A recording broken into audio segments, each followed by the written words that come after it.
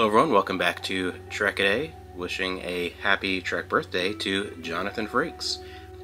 Born August 19th, 1952, William Riker on Star Trek The Next Generation and the movies and beyond, one of the most popular characters on what is arguably the most popular Star Trek entry in the franchise worldwide, so a huge part of the franchise, and then behind the scenes equally a lot of Star Trek actors got into writing or producing or directing over the course of their Star Trek careers, and one of the greatest examples is Jonathan Frakes, as he has done a monumental number of episodes and movies. He's a very prevalent Star Trek director and someone who, doesn't matter which side of the camera he's on, is always a fun, positive, creative influence on the franchise. So I'd love to hear what some of your favorite Riker moments or episodes are, and what are some of your favorite projects that Jonathan Frakes has directed?